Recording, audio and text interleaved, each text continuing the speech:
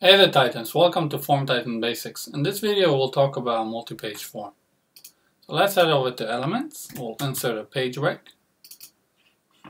and we'll head over to its settings and add a page. So what we will do here in the first page we'll create we'll insert the account information and the second page we will create a contact. So let's add some fields to the second page. We'll put a text box, call this uh, first name, and we'll duplicate this. This will be our last name.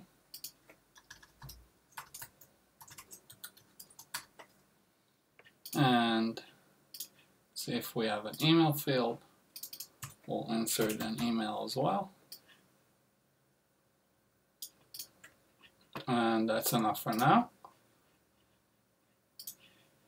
Now let's take a look at our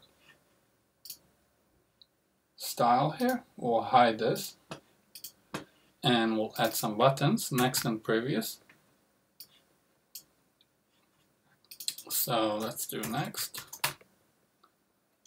Next page. We'll head over to the settings of the button. We'll say this is go next. Give it some style.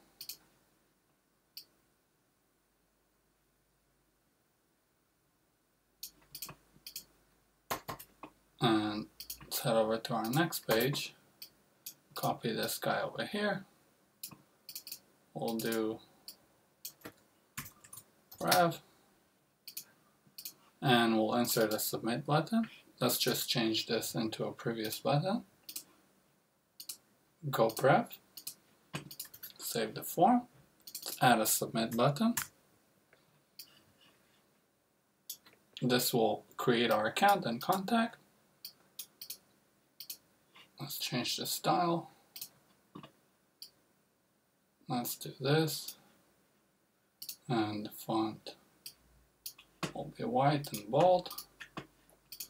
Let's head over to our Salesforce integration to the push. So we're creating an account. We map the account fields.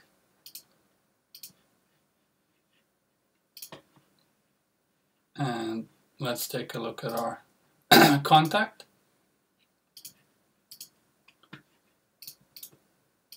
So we mapped our contact account ID into our first account ID.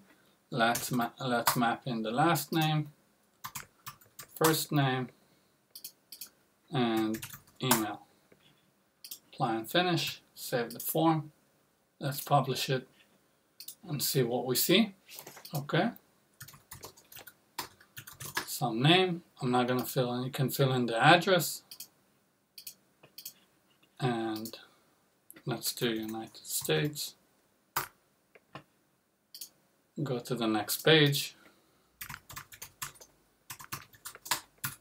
And contact last.